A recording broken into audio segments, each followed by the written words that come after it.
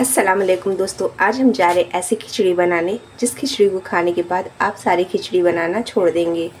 यहाँ पर सबसे पहले हमें कुकर गरम करना होगा और फिर इस कुकर के अंदर डालेंगे सरसों का तेल। अगर आप चाहें तो रिफ़ाइन भी डाल सकते हैं, लेकिन हम यहाँ पर सरसों के तेल का इस्तेमाल कर रहे हैं। सरसों का तेल जब गर्म हो जाएगा, तब फिर हमें इसके अंदर डालना होगा। ये है गरम मसाला। इसको डाल देंगे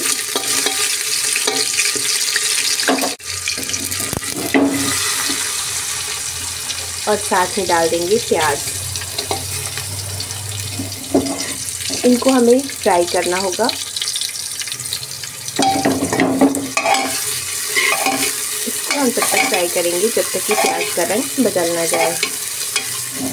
तो चलिए इसको फ्राई कर लेते हैं। और अब आप देख सकते हैं, इसका रंग पहले से बदल चुका है। इसको थोड़ा और फ्राई कर लेते हैं।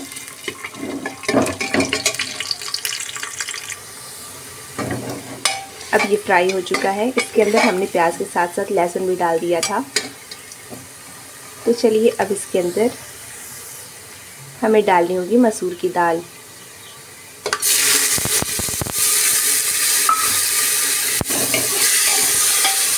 मसूर की दाल डालने के बाद इनको ऊपर और चलाएँगे।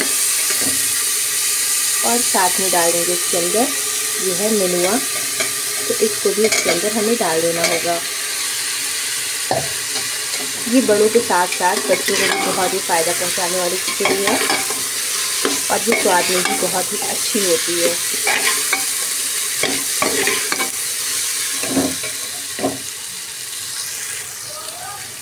अब ये सब इसके अंदर आ चुका है। तो चलिए अब चावल डाल देते हैं।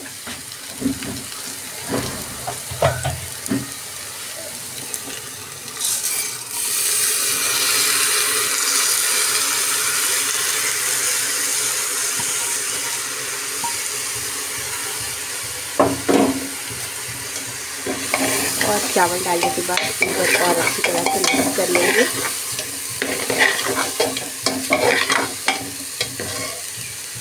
और अब इसके अंदर हमें डालनी होगी हरी मिर्ची। आप अगर चाहें तो पुदीने का पत्ता और धनिया पत्ती भी डाल सकते हैं, लेकिन मेरे पास पुदीने का पत्ता और धनिया के पत्ते इस वक्त मौजूद नहीं है, इसलिए नहीं डाल रहे हैं। अभी हमें इसके अंदर पानी नहीं डालना होगा। अब इसके अंदर हमें डालना होगा नमक। आँच को धीमा रखेंगे ताकि ये जलने ना पाए।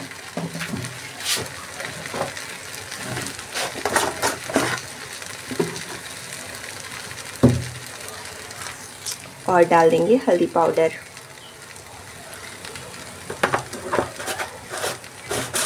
यहाँ पर हम लाल मिर्च का इस्तेमाल नहीं कर रहे हैं, सिर्फ़ हरी मिर्ची का इस्तेमाल कर रहे हैं। और इन सबको मिक्स कर लेंगे फिर से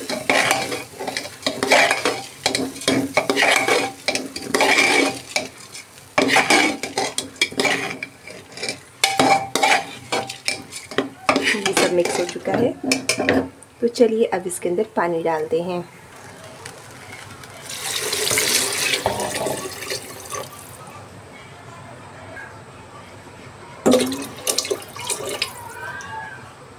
अब कुकर को हमें बंद कर देना होगा।